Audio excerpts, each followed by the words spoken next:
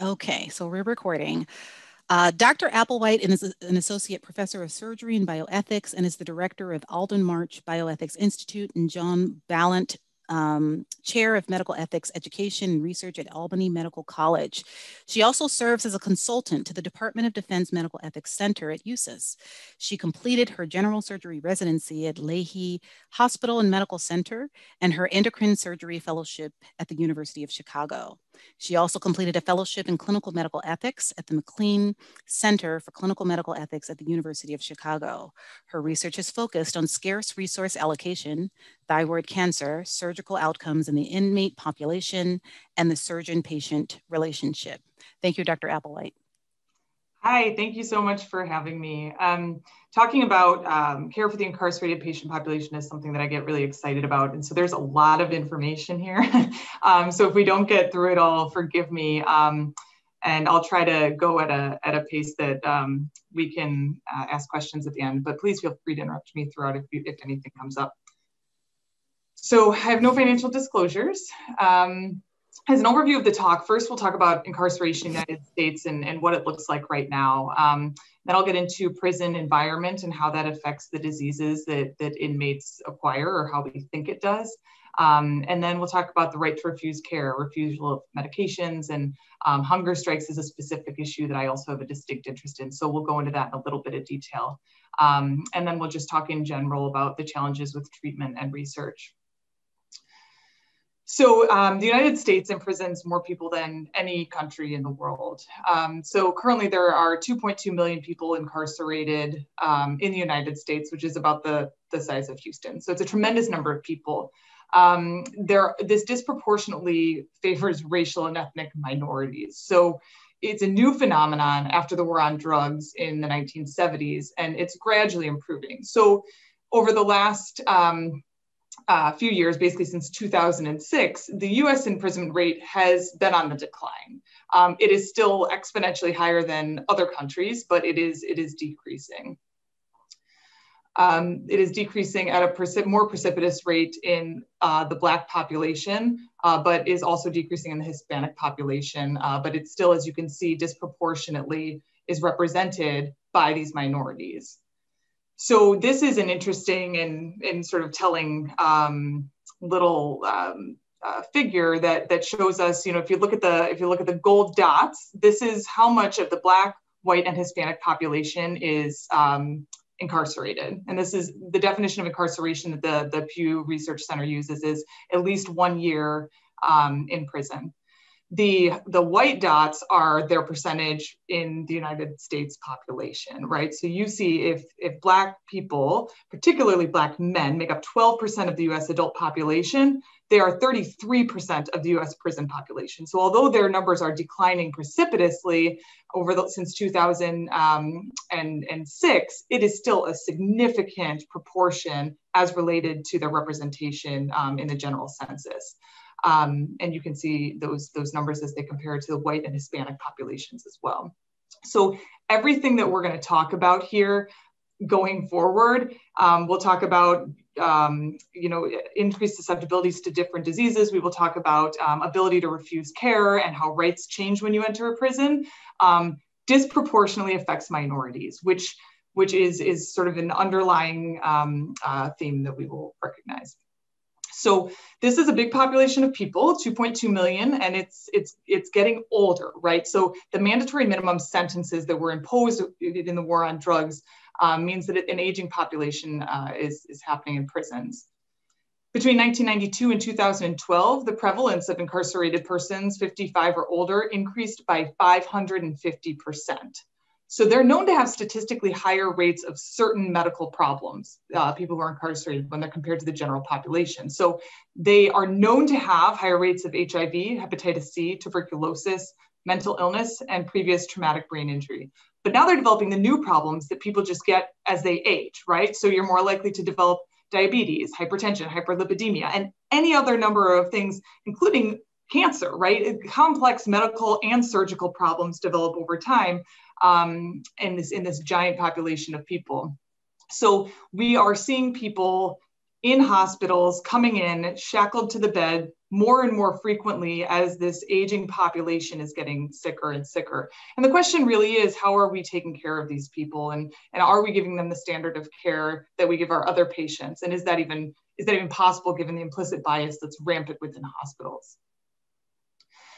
So looking specifically at prison environment and disease, um, there are anecdotal issues. So at, at Albany Med, we take care of a lot of, um, we take care of a lot of inmates. We have a contract with the New York State Department of Corrections. And so uh, the number of inmates that we get is significant. We go to prison clinics, we go to the maximum security prison locally, and we take care of all of the surrounding medium and maximum security uh, prisoners who have surgical problems.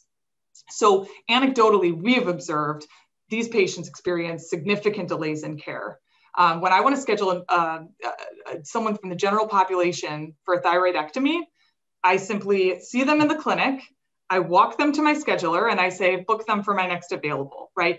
When I am seeing an inmate, I see them in my clinic. I then say to the, um, the COs that are with them, here's what I recommend. Please give this to your schedulers at the facility they take it to the facility, they go to the infirmary, they give my recommendations. My recommendations are then given from the infirmary staff to the physician there. The physician there decides whether or not that's an appropriate sort of course of action for the inmate. And at that point, the schedulers there talk to my schedulers and they book it an indeterminate period of time out in order to facilitate any number of you know structural and regulatory um, issues that they have to go through not only with transportation but with regard to safety and timing with other inmates um, and then they get booked. So the average time that I that an inmate will wait to have the same surgery as someone from the general population, from my anecdotal experience, is about a month or two longer. So they have delays in care from that perspective. Um, the other interesting part is that they don't know when they're having surgery. We are strictly told not to tell the inmates about any of their upcoming tests, operations, or appointments, because if they know the timing of it, the concern is that it will be a safety issue um, in and around the, their transportation. Um, so what happens on the day of surgery is they get woken up at like four in the morning and told to get in the van, today's the day, right? And then they're driven. Um, and they all go in at the same time because transportation, so you can have your operation at 3 p.m. and you're going in at the same time as somebody who has their operation at 7 a.m. because they all come together and get put in what's called the bullpen downstairs where they where they wait for their time basically, and they don't know until that very moment they're having surgery that day. Um, so other anecdotal issues aside from delays in care are um, that their chronic medical conditions are, are poorly controlled, um, that physicians are generally unaware and unequipped, uh, especially in hospital, for managing not only what they've come in for, but their increased TBI, their increased mental illness, um, increased history of sexual abuse, and other comorbidities. So this presents limitations in care from that one perspective. Once they get into the hospital, um, we see that with the corrections officers that are present, uh, you know, you're talking about sensitive things with patients, and it's a, it's it's questionably sort of a HIPAA violation, right? You're talking about very sensitive issues, and and you have other people present who are not necessarily selected by the inmates to be there, but who need to be there for safety issues. Um, they're shackled. Um, anytime that they're awake. Uh, we have to explicitly ask the uh, COs in the room to take the shackles off after they're under a general anesthetic. Um, they have limited mobility. Um, if they're on the locked floor, um, which we have a we have a, a, locked unit, they can walk around without their shackles on. But if they're not in the locked unit, they're on a general population floor. If they want to walk post-operatively, they need to have their shackles on and be accompanied by a CO, which um, many of them are not as is enthusiastic to do, right? Because it, it, it attracts attention that is unwanted and inappropriate. Um, they are almost five times more likely to have a venous thromboembolic event after surgery. And there are limited, or in many cases, absent visitation um, uh, rules for these, these individuals. Um, in the absence of end of life uh, sort of visitation. They really don't have anyone that we can even talk to after surgery is done. They have no support at the bedside to, to get them mobilized, to sort of ground them, to advocate for them if they're not, you know, getting something that, that a family member otherwise would think that they would need. And interestingly, there are no surgical outcome studies discussing inmates. So Um, they're not included in the national databases, including the Healthcare Cost and Utilization Project, the National Cancer Database, and the uh, National Surgical Quality Improvement Program. So it's it's um, it's really hard to know what operations they have really what medical problems they have in general, um, how well they do after surgery, what troubles they do have if we keep them under anesthetic longer than other patients, or if we um, are more likely to give them a general anesthetic than a local anesthetic and a MAC. And so, sort of, how does their care differ? We don't know because we don't have those data. So, um, looking at the HCUP, this is called the nation's most comprehensive source of hospital care data. There are no inmates looking at the National Cancer Database, this data represents more than 70% of, of cancer cases nationwide. There are no inmates included in this. We have no idea what kinds of cancers they get. If you look at NSQIP, um, this is the National Surgical Quality Improvement Program. So the idea of this database is to measure and improve the quality of surgical care. So there are, na there are national standards of what is quality care. Um, Inmates aren't included at this database, so we don't know if we administer uh, equitable care to them. So there's a lack of information on these individuals. Medical problems of the inmates are poorly documented. The infirmary data are not public. And even with an IRB for protocol, data can be nearly impossible to obtain. Um, all we know is that from a Bureau of Justice Statistics um, survey in 2004 is that about 12% of inmates have surgery while they're incarcerated, and there was no other information regarding what the diagnosis was and what their outcomes were. So we foresee them having unique problems um, as composed to as compared to the general population. So they live in a relatively hostile environment um, that can lead to hypervigilance and PTSD. In animal models with PTSD, there's a state of immune modulation. So actually having chronic stressors in a hypervigilant state can result in pro-inflammatory cytokines and um, a general state of sort of a hyped up immune system.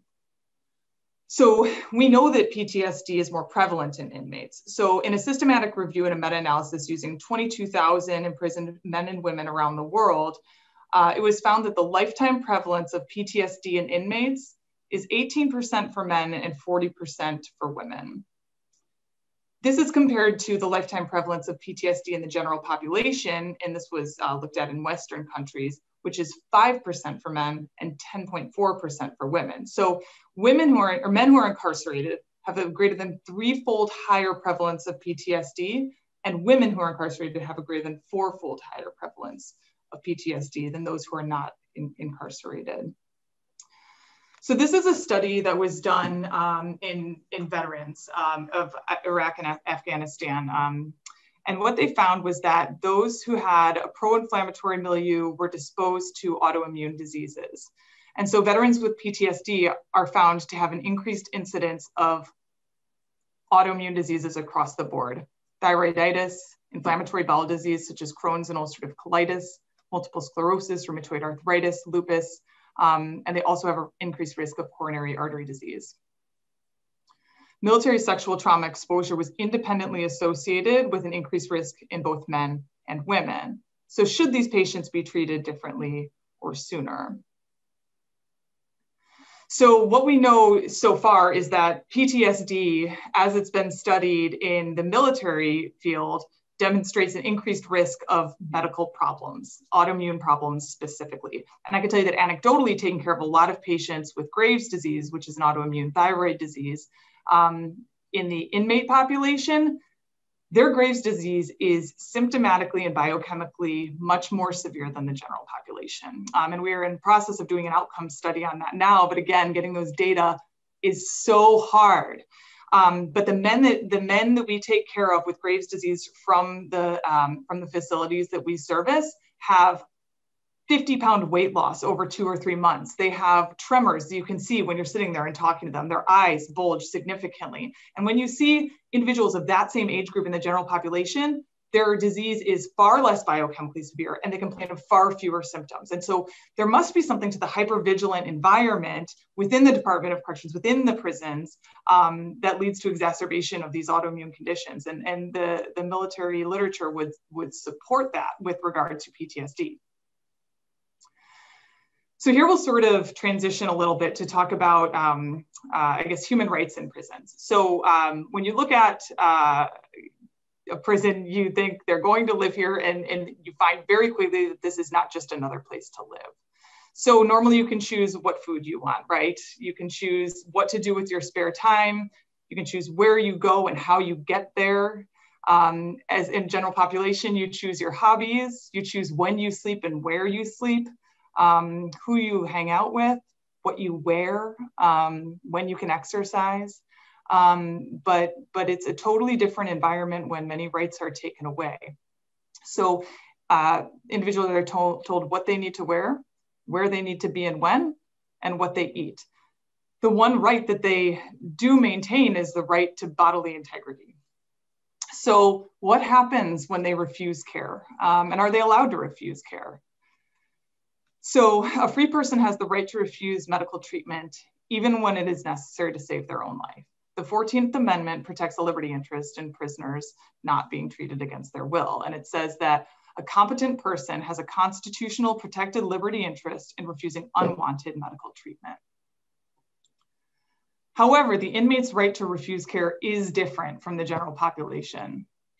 So if they have any number of communicable diseases, if they have um, a mental illness that might put the other um, uh, inmates at risk, they have tuberculosis.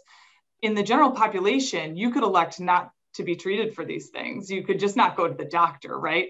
Um, but when the health, when the safety and the security and the health of the other prisoners uh, is potentially affected by your medical problem, it is required that you are treated, right? So they may also be forced to accept treatment that is necessary to protect their health from permanent injury. So to protect the health of those around them and to protect their own health. So it is it is subtly different, the right to refuse care.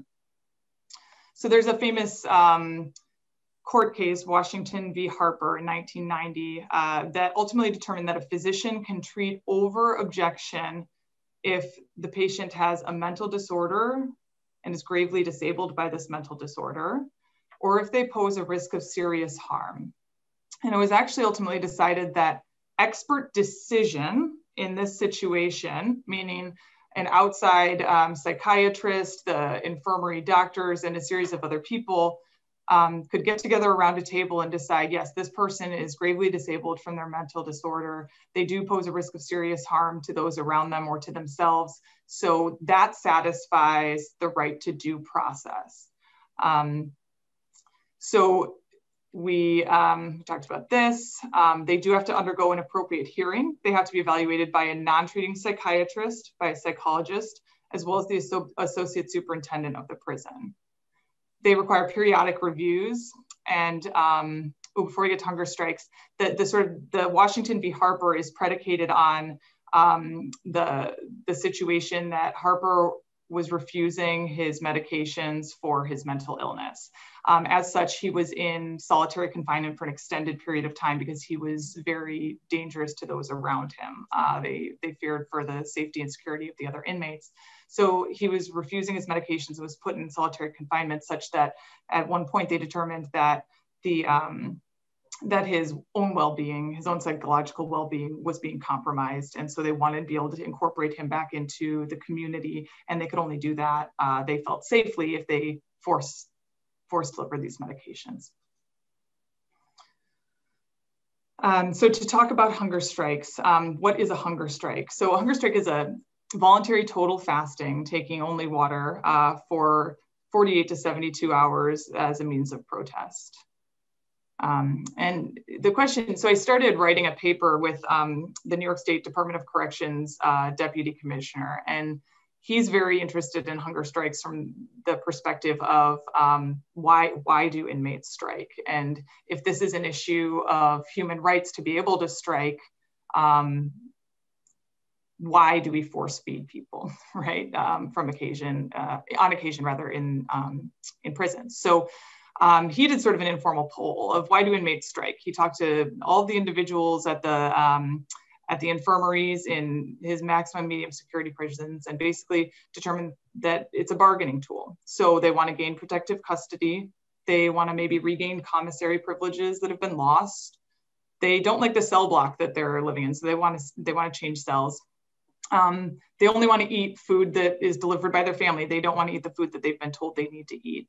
Uh, maybe they want to be moved to a prison closer to their family, and so maybe they want to leave solitary confinement. So they they sort of say, "I'm not going to eat until you give me what I want," right? And and sort of anecdotally from his brief surveys, these are the reasons why um, inmates uh, went on uh, hunger strikes.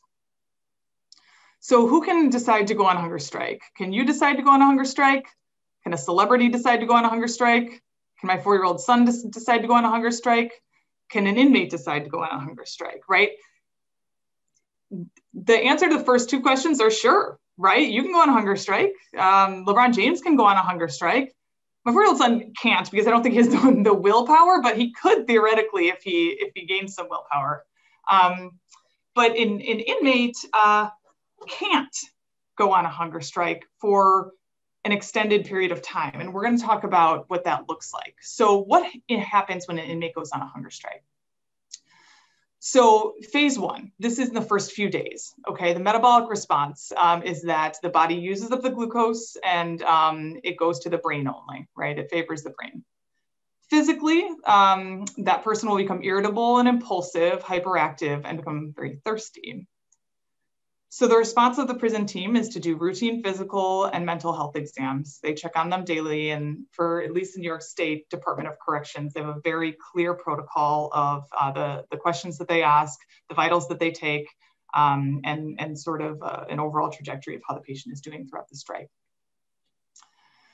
Um, and they counsel them about the physical effects of starvation. So phase two. So let's say that phase one has passed. They continue to strike because they haven't gotten what they wanted or they've not decided to begin eating. Um, their metabolic response is that their fats are metabolized into ketone bodies. And physically, this looks like nausea, vomiting, and diarrhea. They get abdominal pain and confusion and weakness that leads to an inability to sense thirst. So even if they had been taking in water, at this point, they have sort of compromised sense of the, uh, the drive for thirst, uh, which is problematic. The prison response is ongoing physical and mental health evaluations blood tests, EKGs, and when they're clinically declining, uh, they begin thinking about escalating care. So it sort of stops from being daily or twice daily rounds to check on the patient um, into maybe they should go to the RMU and talk about accepting fluids if they would be interested in it. Phase three is much longer and it's very unusual for them to get this far. Um, but the metabolic response is that protein and muscle um, is consumed um, and cellular function declines. Um, they begin having seizures, loss of consciousness, susceptibility to infections, and cardiac arrhythmias. And the prison response at this point is to consideration force to consider force feeding due to imminent risk of permanent damage. So when involuntary treatment is considered is when they see evidence of end organ damage, and they can tell this by physical exam and by their laboratory values. Um, when an inmate has a pre-existing comorbidity that may hasten permanent harm, or when there's a long, prolonged hunger strike greater than 21 days. When the patient is reaching less than 85% of their ideal body weight, or when they've had a significant decline in their body mass index such that it becomes concerning uh, for permanent harm. So as a quick look of what does what does involuntary feeding look like? So initially you can give saline right? You can if they'll allow it give you can put in an iv and and just give them some fluid. And this is when they lo- lose their drive for thirst and um, and you want to just you know give them a little bit of volume. You can include any number of electrolytes that they may need based on the labs that you draw if they allow you to draw labs Ultimately, you can give them TPN, um, which includes uh, the need for a central line, um, or you can give PPN peripherally, which does not provide uh, as, as good of, um, uh, as high quality of delivery of um, the, the um, electrolytes and the lipids, um, but you can give it peripherally as well, which is a, a, a, an easier line to put in, certainly. And ultimately, it requires a feeding tube. So you can give TPN for a short period of time, but at some point their livers are going to suffer for getting uh, TPN for too long. And so you, you think about feeding with um, a tube. So um, the temporary tubes that we can put in are nasogastric tubes. And um, Uh, the food can be infused over the food, the, the, the, feeds can be infused over a period of time. And um, when this is done in the force feeding realm, they're usually strapped into a chair. And um, this is done for a couple of hours a day. They basically put in an NG tube um, under duress frequently. They're um, the nurses suffer have anecdotally suffered injuries of bites and uh, scratches and it, it, can be violent as you might imagine for someone who doesn't want to have a tube put down even if you are sick and you need a tube in the hospital and you're not an inmate and this is going to make you better it is really uncomfortable to have a nasogastric tube placed super uncomfortable so for someone who's totally uninterested in this process at all um, you can recognize how it's not a pleasant situation and people can become hurt so um, you ultimately, you know, the, these people are um, fed over a series of hours um, as frequently as needed until they decide to start eating. And then ultimately, um, if even after being refed, they refuse food, you think about putting in a permanent feeding tube, like a, a, a gastric tube or a gastrojejunal tube, um, so that they would not need to have an NG tube placed every single day, uh, but rather would have, you know, a port um, just directly to their stomach. And for the, this is more for the for the non-physicians, um, but you know to to see that this is effectively what a, a, gastric tube looks like. It just goes directly through the skin and into the stomach. You blow up a little balloon on the other side of the stomach, and then through that tube, you've you put in tube feeds, and it sort of gets capped off the rest of the day. So as you can see, so this is um, uh, put on 2017. This is sort of the average length of hunger strikes. I think this was um, a study done in South Carolina on, on their hunger strikes or something like this. So the, the, the number of people who ultimately would require even tube feeds, much less tube feeds through a permanent feeding tube, is really, really low. Almost all hunger strikes last only a few days or a week. Um, but when it does get to those sort of advanced stages, and people come to the hospital, it's not always easy to find a surgeon who's willing to put in a gastric tube in a patient who will not give consent. Um, you also have to find an anesthesiologist who's willing to anesthetize a patient who's not giving consent. Um, so the number of obstacles uh, that individuals face um, while trying to feed force feed people and you know in hunger strikes are um, are many. So the Dr. question, Applewhite. Yeah. Hi, this is Lieutenant Commander Suhako. I'm just Hi. I have a question about um, so you place a gastric tube. How yep. often does the prisoner just pull it out? The G the G tube, yeah. The G tube, yeah. They have to be restrained, right? The whole so, time. And is that right? Yeah, because it's easy to it's um, it's not easy to pull out, right? It's sewn in, but um, it's easy to pull out, right? Like if, if that is what you want to do. And it's it's a it's a similar sort of phenomenon as with um, people with dementia who have G tubes, you know, and it's similar but different, right? You know, if something is there that you don't want there that's foreign to you, yeah, I mean, it can be pulled out. So then at that point, you have to talk about restraining a patient who's wide awake. Good question. Thank you. Sure. Um, so the question arises is, is it unethical to feed an adult with capacity over objection? Um, many say it is. So in the Declaration of Malta in 1991, um, it was determined that it is ethical to allow a determined hunger striker to die with dignity rather than submit that person to repeated interventions against his or her will. And that forcible feeding is never ethically acceptable, even if it is intended to benefit.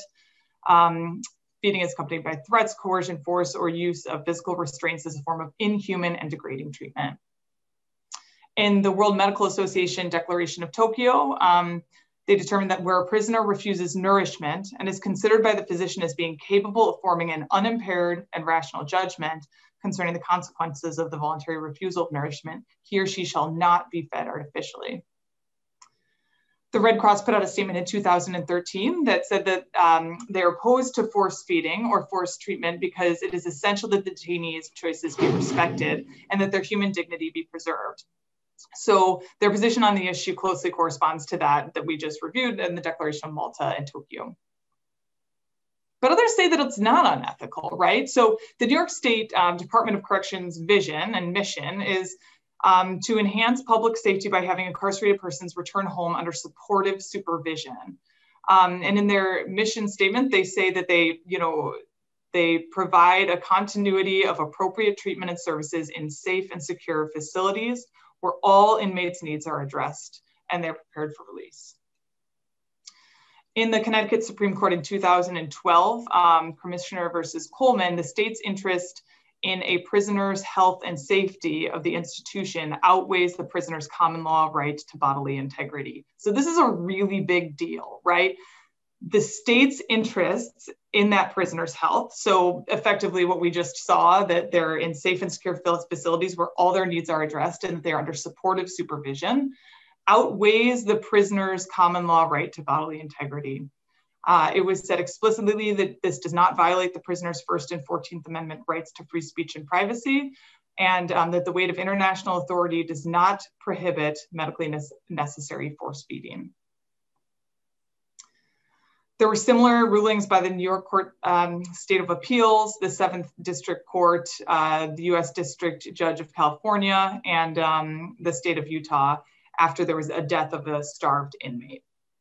Um, the Federal Bureau of Prisons policy is not to delay feeding if it's an immediate threat to life or if there's possible permanent damage to their health. And a hunger strike was effectively um, equated to a suicidal act. So from, from the perspective of, of the physician or the nurses or anyone helping to take care of these patients within the facility, um, if you can imagine I got a lot of pushback when I talked about hunger strikes at the, the national ethics meeting because I sort of gave, you know, I just think it's a lot more complicated than it than it necessarily presents itself to be in the Declaration of Malta and Tokyo. Because if you are the physician or the nurse or the part of the team who's rounding every day on these people, and you see them becoming incrementally sicker and sicker and sicker, you're effectively watching someone die and allowing it to happen. And that's so foreign to people who take care of patients. Um, and you know, there, there, there's a saying that is if, if someone tells you that they have a rope and that at some point they're going to put it around their neck and they're going to hang themselves, would you still let them keep that rope? Right. So if this if there is someone saying, I'm going to stop eating and I'm never going to eat again, would you just allow them to die? And and I'm not saying that people don't deserve to have the right to bodily integrity and to make their own decisions when they have capacity. But I'm just saying it's a lot harder, I think, um, when you're on the ground level and you're dealing with a patient who is who is suffering. Um, and although we don't have have real data on why individuals go on hunger strikes in prisons, um, you know, it's hard to think about um, allowing someone to die in exchange for not having their commissary privileges, um, even if that decision is made with capacity.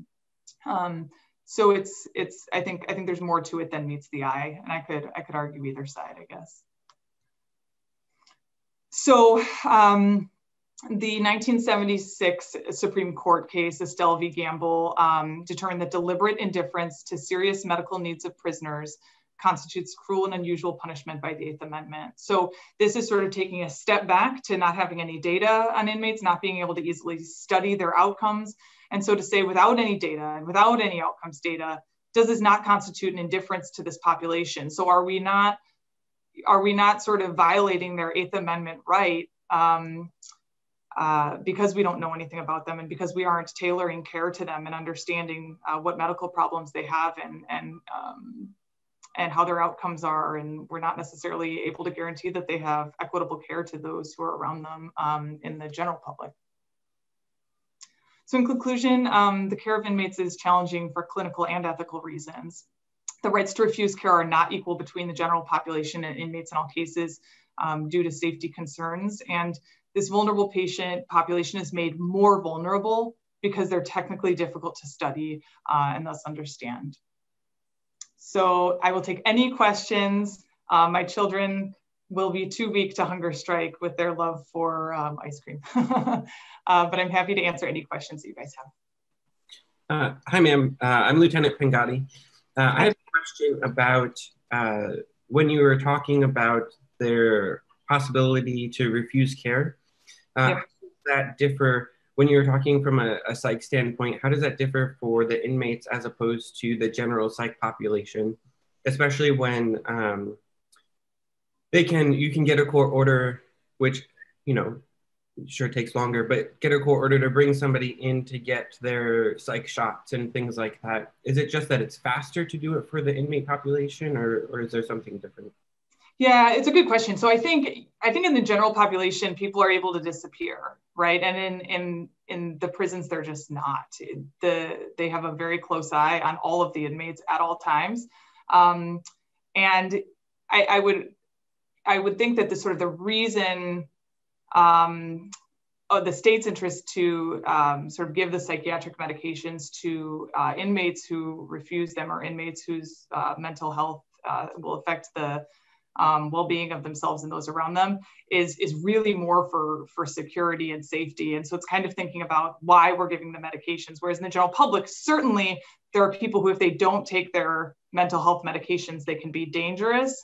Um, but i think that it's so much more of an intimate setting within the prison population and they they have a closer eye on everybody that's just more likely to happen sooner because people can't can't sort of just decide not to take it and stay home and not leave their house but I think it is as you put out. It's it's mostly um, because it's quicker and because they have a closer eye on people. Thank you. Sure.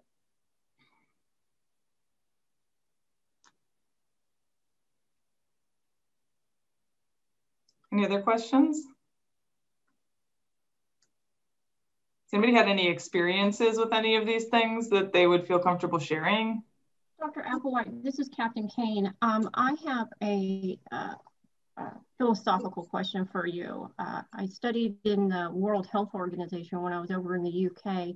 And one of the things that I think the World Health Organization uh, wrestles with is you have this uh, enormous um, migration of refugees across the world. Um, from war-torn countries, and some of the hunger strikes that are, are happening uh, uh, mm-hmm. are from these uh, countries that are in severe conflict, and then these, you've got this population of people trying to seek asylum into safe harbor countries. So my question is, do you draw a philosophical difference between those within the prison situation that you described versus a political prisoner, number one, such as what the uh, U.S. has experienced down in Gitmo with our political mm-hmm. prisoners, as well as, you know, we have a lot of countries west, wrestle with this. Palestinian in 2012 had a huge, um, uh, excuse me, uh, Israel had a huge hunger strike with the Palestinian prisoners. Yep. As well as Iran just recently had an enormous hunger strike within their um, population uh, related to COVID 19. Uh, remember the Egyptian um, prisoner, the American prisoner being held in Egypt, he went on a hunger strike and he died. And he was being held as a political prisoner. Do you feel like there is a difference? That's a really good question. So, you know, it, so much of it, um, so much of it depends on whether or not you care why people are striking, right? And whether or not you think your perception of their reason is good enough, right? So I could easily say, well, if someone is um, is striking because their family is being, you know, separated from them and their children are growing up as orphans and they want their family back, is that a better reason to go on a hunger strike as compared to um, you know wanting to go to the next cell block over just because that's where your friends are and does what i think about your reason matter you know should should i be allowed to determine whether or not that's an adequate reason? So i'd say if you talk to a true philosopher the reason shouldn't matter. The reason the the, the ability to hunger strike should be the ability to hunger strike regardless of, of the intended reason. No, I think it's a great point to bring up is because we do have political prisoners across the world. You know, it, it doesn't make a difference knowing that that political prisoner wants to is maybe against American philosophy or against an Israeli philosophy or against an Iranian philosophy. Uh, you know, does that make a difference? Right. I mean, I would get so I would get destroyed by a real philosopher right now, but I would say it does make a difference. You know, I would want to say that, you know, if, if I'm a political prisoner, I I am entitled to die for what I believe, right? Um, so is it is dying for what you believe different than dying for what you want for a bargaining chip? And and I would get destroyed by the philosophers in my department. They're just on the other side of that door, you know, for, for trying to for trying to, to declare that I can I can possibly know someone's true motivations and how important those motivations are to them. Uh, but yeah, my reflex is to say, yeah, you should be allowed to die for what you believe, right? Um, yeah. What do you think? I, I'm I am in the same wheelhouse as you. Uh, that if you do want to die for your political belief, and uh, then you know you have the right to do that. Yeah. What else? Does anybody else have any questions, or do you want to you want to fight about something? Do you like disagree with anything that I said? I like a good intellectual banter. Uh, I would like to share uh, one thing. Uh, so I actually, before the Navy, uh, I was a tech at Albany Med in the ER. Hey, awesome. So, yeah, so I would see all of the inmates that would come through. Yeah. Uh, and so looking at um, the nurses that would care for the inmates, uh, it would be interesting to see their philosophy on how they were going to provide care for that person. Mm-hmm. there would be nurses who would refuse to do it uh, and give the patient to somebody else. There were nurses who would provide care to that person just like they would a family member. And then there were nurses who uh, would look up what crime the person had committed to see what they thought, uh, how responsive they were going to be um, to the person. So uh, I think that it's uh, a very interesting aspect when you're able to sit and watch people around you and, and what they do and how they how they choose their actions. Isn't that interesting? And that is it is that is such a valuable perspective to have been able to to acquire. A couple of medical students last year gathered a bunch of data from the ED um, on long bone fractures, and they basically compared narcotic administration or pain medication, pain control um, given to the inmates with long bone fractures versus non-inmates with long bone fractures what type of medication they got, how long it took them to get that medication, how frequently anyone asked if they were in pain, um, and compared the two groups. And you know, it would it it should be of no surprise to anyone that those were dramatically different. Um, you know, I, I operated on an inmate who actually wasn't an inmate anymore. So he, he was incarcerated when I first saw him, and then he was released, and now he's sort of a ward of the state, um, but because he's he's not mentally well, and so it's sort of like and he has no one to help take care of him. Um, but so he still he still travels with uh, guards, although they're not armed anymore. Um, but when he came into the preoperative area, um, I was told what he did, and I had literally no interest in knowing that. And I am emphatic about those around me also not knowing that. Um, and it is impossible, given some of the nature of these crimes, to not let that permeate your brain, right? Um, and I was so angry. I was so angry that I knew that because not only should it not matter, but he's already been punished for his crime, right? Like this is double jeopardy. He's effectively being tried twice for the same crime in a sense, right? He not only was he punished because of his crime and he went to prison and he served his time and he's been released. But now somehow the, the care that he's going to get is going to be somehow altered because everyone in the preoperative area was aware of the crime that he committed. So it is, as you say, I think looking up, even though it is public publicly available data, um, the crimes of these individuals, I think is a, I think it's a moral crime. what else? Good morning, Captain Poliar here. Yeah, I experienced something um, similar to Louis, but on a on a single scale. I had a patient who had apparently he hadn't been accused of having um, committed a crime to another police officer, but he was in the hospital with a chest tube and he had also been beat up. and like for 48 hours, he hadn't had any pain medication. Um, and when I received him, the nurse told me that he was a really easy patient and that he hadn't had pain all day. And like when I started taking care of the patient, um, he's like, I've been in pain all day, and I don't know why any of these people give me pain medicine and why they're treating me so bad. And um, the police officer obviously was in the room. Another one, like probably uh, um, one of the ones that had been injured, like a, a colleague. And so I felt like there was a lot of pressure, maybe on the nurses too. But of course, I took care of him and gave him pain medicine. At the end of the shift, he felt a lot better. But it, I really struggled with that, that he hadn't had any pain med- medication for about 48 hours, at least going back through all the charting. It really bothered me. It's horrible. It is so hard. And the conflict, the conflict that arises when you have when you have other police officers in the room, potentially those who were involved, right? It becomes an unsafe environment not only for the patient, but but potentially for the staff too. It's because they're it's charged.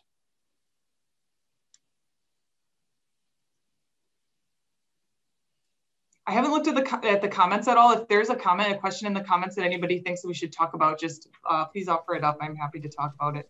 So, ma'am, in, in regards to some of the rulings where the uh, the courts have gone over the uh, some of the objections of some of those uh, those protocols you're talking about, like the Tokyo one and the, the WHO, is kind of like the ruling, kind of like how the uh, how the schools have like in loco parentis because they become wards of the state because we've incarcerated and we've taken their uh, and and so the state has taken upon themselves basically to, to care for them.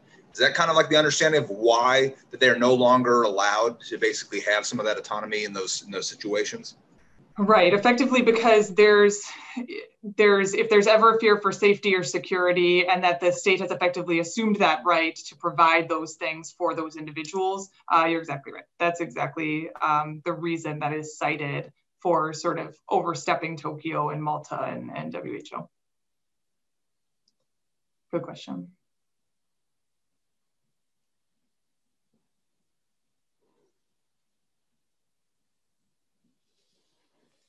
Anybody else have anything else? Thank you so much for having me. It was um, uh, it was a pleasure, and I really appreciate you guys participating. And and if any of you guys want to uh, talk about this further or anything else, I'm happy to. Thank you, Dr. Applewhite, for coming. Typically, when we have guest speakers in person, we can uh, provide them a coin um, as a symbol of our uh, appreciation for, for your uh, service. Thank you so much, and we'll be sending that to you in the mail. Oh, thank you so much. That's that's really very nice. Thank you. Thank you, Dr. Applewhite. All right, my pleasure. It was really nice to talk to you guys and um and certainly reach out if, if you ever need anything or if you want to collaborate or if you have any questions. All right, take care. Thank you. Bye-bye. Everyone, Bye. please take a, a 10 minute break. And when you come back at 11, we'll have our next guest speaker.